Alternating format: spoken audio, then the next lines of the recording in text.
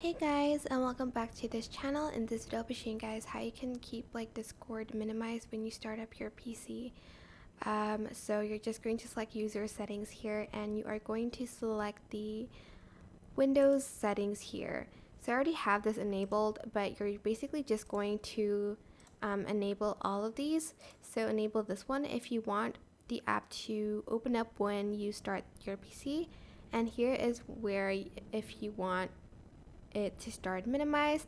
You can also enable minimize to tray so that if you close the app, it will still go on, like the app will still like, um, yeah, you know, go on, like you'll still have like calls happening when you close the app because it will just be minimized to your system tray.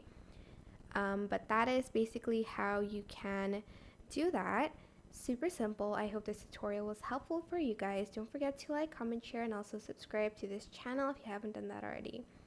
If you have any questions, just leave it in the comment section and down below and I'll try my best to answer them all for you guys. And yeah, that is it. Thank you so much for watching. Bye!